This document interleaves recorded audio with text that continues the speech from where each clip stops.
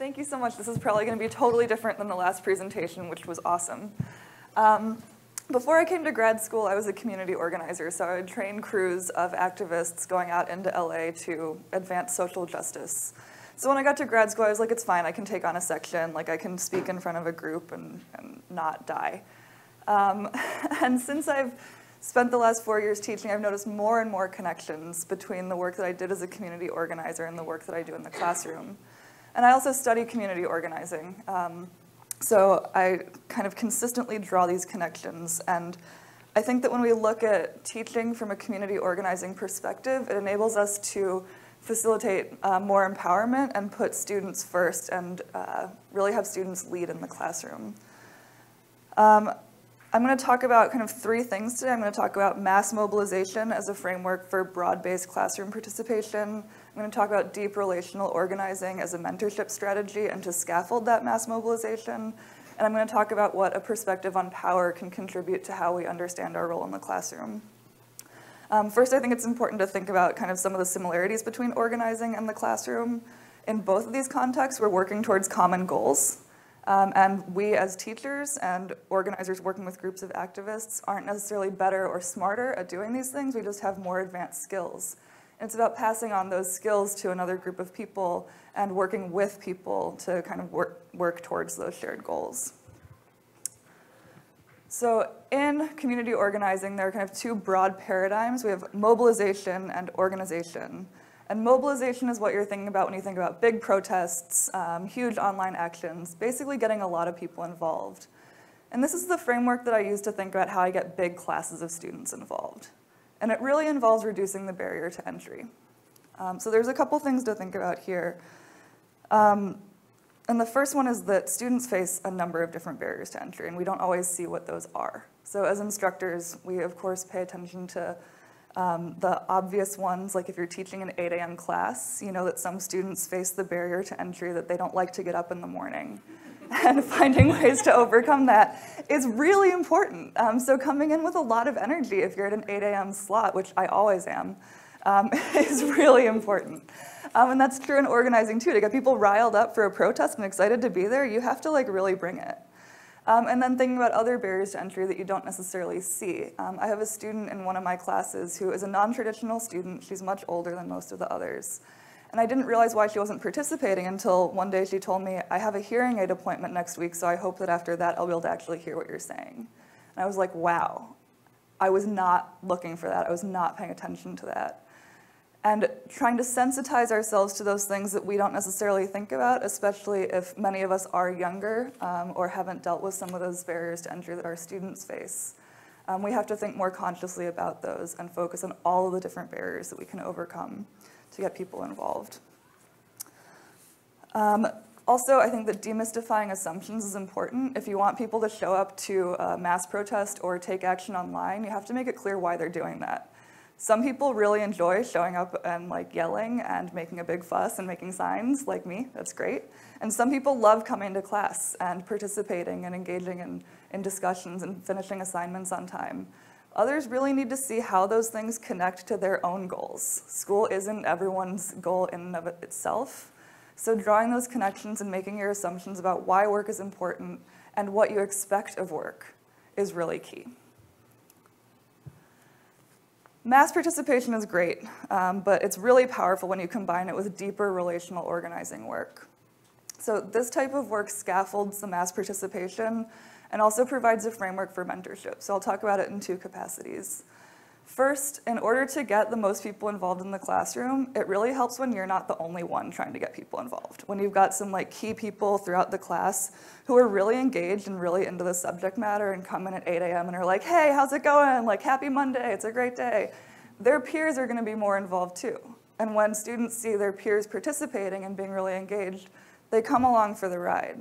This is something that's true in organizing too. If somebody's friend is going to a protest, that friend brings a bunch of people, all these other people who weren't necessarily going to attend to begin with show up.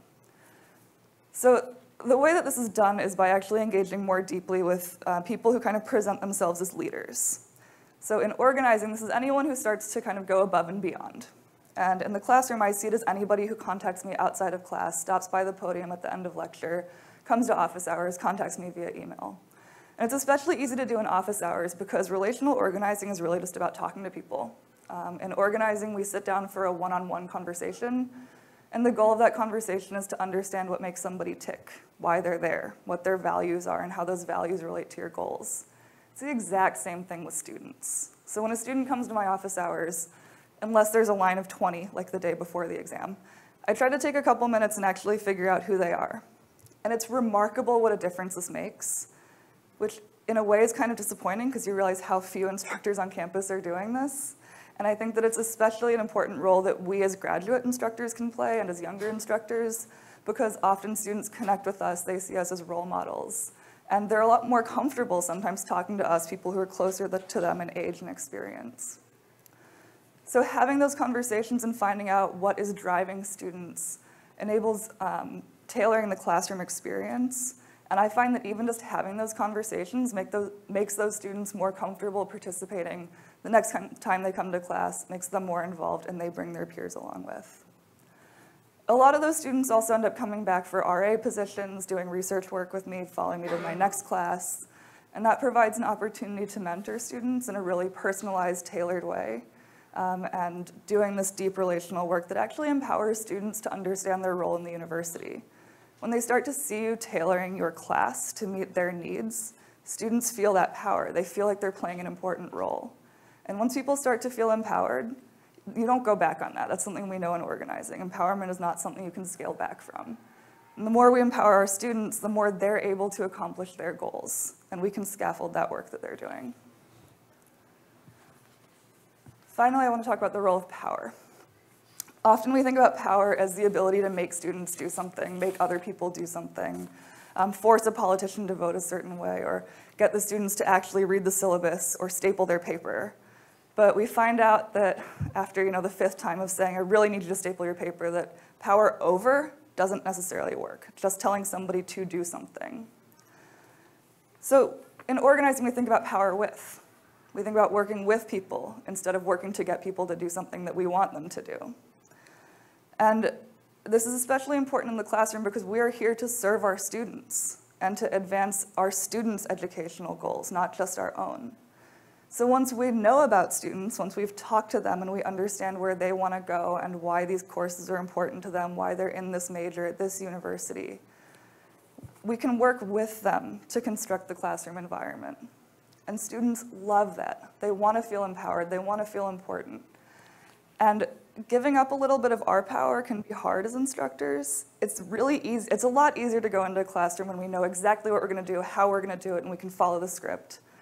And going in with more uncertainty and not quite knowing exactly how the class is gonna go can be really scary, especially for people like me who hate public speaking, hate being in front of a crowd.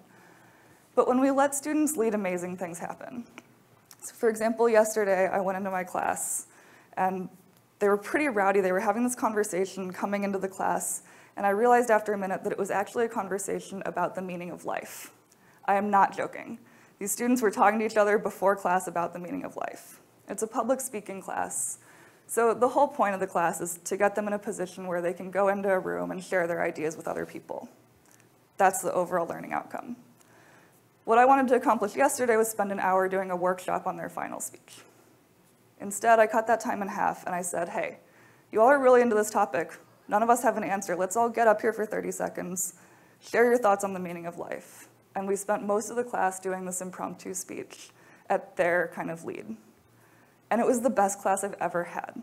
So when I gave up that power and adjusted my uh, teaching, uh, my lesson plan like in the moment, they saw that I was willing to be flexible and do what they wanted to do, and I was able to tailor what they wanted to do towards the course's learning outcomes. So when we think about power and engaging with students instead of trying to get students to do things, we open up spaces for all their creativity to come into the classroom, and it makes it a lot more fun for everybody. I also find that the papers get stapled a lot more when students feel empowered. Um, so this is kind of my view on teaching, why I think that kind of bringing a community organizing philosophy into the classroom can be really important.